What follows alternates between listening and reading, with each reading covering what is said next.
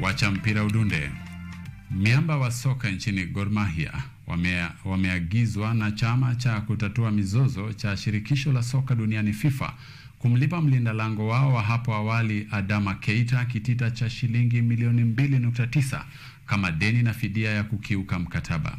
Hatua hii inafuatia amri iliyotolewa mwezi Septemba ya kulipa shilingi milioni 1.1 ambazo mlinda lango huyu alidai kutoka kwa Kogalo.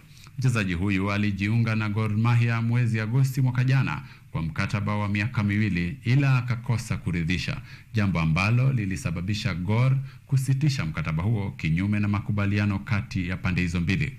Kwenda kinyume na agizo hili huenda kukavutia marufuku ya usajili wa wachezaji kwa klabu hii.